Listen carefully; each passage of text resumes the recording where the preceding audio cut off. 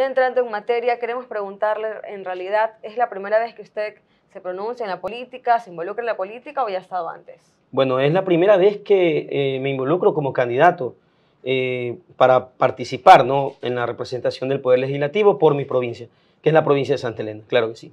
¿Y cómo así decidió ahora postularse como candidato a la Asamblea? Bueno, voy a, hacer un poco este eh, reiterativo. ¿no? la postulación de mi candidatura a la Asamblea Nacional para representar a la provincia de Santa Elena responde a un acto de conciencia ciudadana, a un, mínimo de empatía con, los intereses populares. Cansados como, un actor social, como un ciudadano común, eh, de ver la forma inescrupulosa como ha sido representado el Poder Legislativo en los tiempos actuales, desde la asamblea que cesó a las asambleas anteriores. Eh, eh, han habido legisladores que han dejado mucho que decir, ¿no verdad? Que no han significado el sentir de las clases populares.